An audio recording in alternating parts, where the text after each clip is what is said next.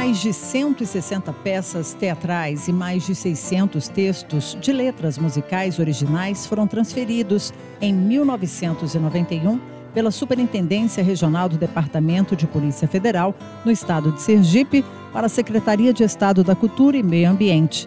Eram documentos que foram proibidos durante o período de ditadura militar pela Divisão de Censura de Diversões Públicas do Departamento da Polícia Federal em Sergipe. A professora Aglaia Fontes, então secretária de Estado da Cultura e Meio Ambiente, exerceu papel fundamental nesse processo, promovendo a articulação necessária para que esses documentos chegassem ao ápice. Aglaia, inclusive, é uma das autoras que teve peças com trechos censurados.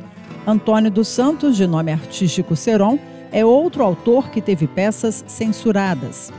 Já em 2022, o APES recebeu 200 peças teatrais de autores sergipanos produzidas entre 1950 e 2020, recolhidas pelo projeto teatral Serigi e doadas ao APES pelos idealizadores do projeto, Virgínia Lúcia da Fonseca Menezes e Isaac Enéas Galvão. As peças foram integradas à coleção Manifestações Culturais do APES.